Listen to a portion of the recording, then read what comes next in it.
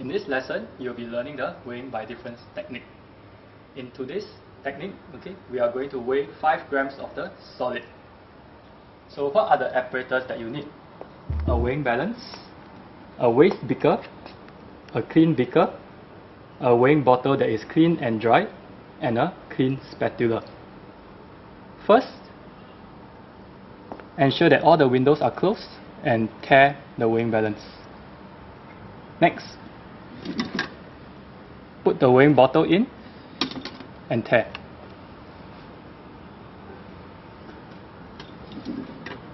Next, we'll fill the weighing bottle with the solid.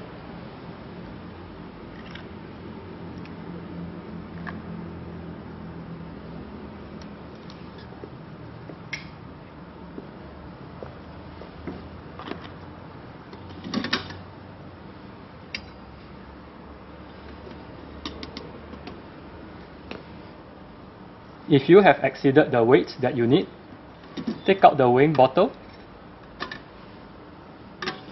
and dispose any unwanted solid into the waste beaker.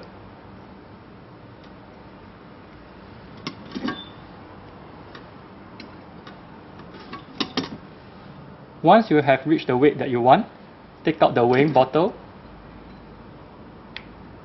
close the window of the weighing balance and tare.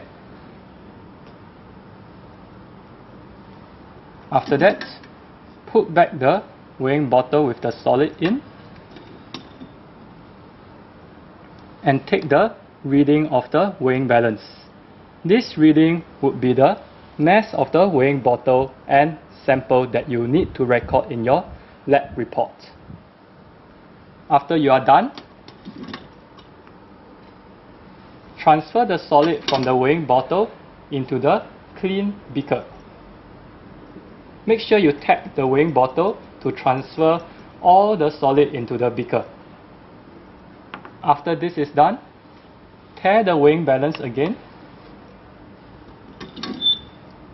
Place the weighing bottle back into the weighing balance. The reading that you see on the weighing balance would be the mass of weighing bottle and residue and you would need to record this reading in your lab reports. After this is done, subtract the second reading from the first reading and the value that you get would be the mass of solid used in the experiment.